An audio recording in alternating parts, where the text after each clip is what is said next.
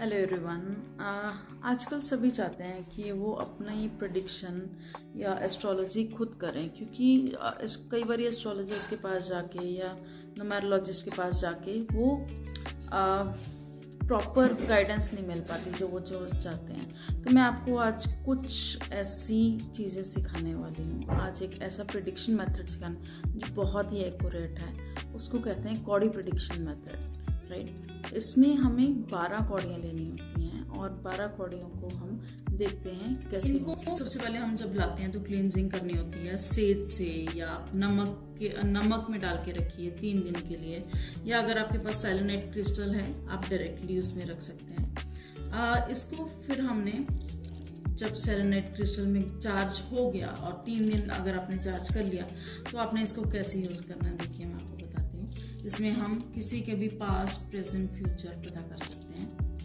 ठीक है? तो हमने इसको अपने हाथ में लिया, अपनी एनर्जी इनको दी। जो भी, जिस हायर पावर को आप मानते हैं, उनका नाम लीजिए, उनसे प्रेयर कीजिए कि मैं जो भी प्रिडिक्शन कर रहा हूँ या कर रही हूँ, वो मेरा प्रिडिक्शन सही हो। इसके बाद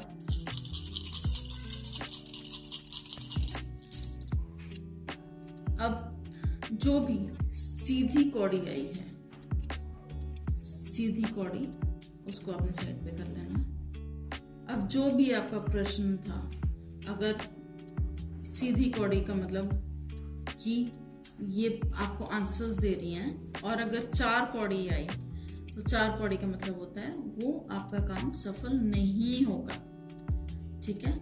या पास में वो काम आपका सफल नहीं हुआ अब आप उसको दूसरी बारी कीजिए।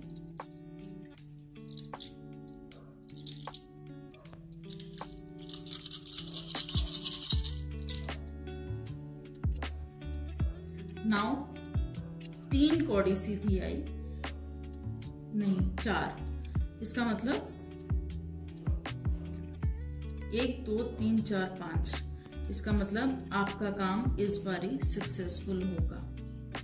यस प्रेजेंट में वो चीज़ सक्सेसफुल हो रही है पास में चाहे वो चीज़ आपकी नेगेटिव जा रही थी। अब हम फ्यूचर का देखते हैं फ्यूचर का भी।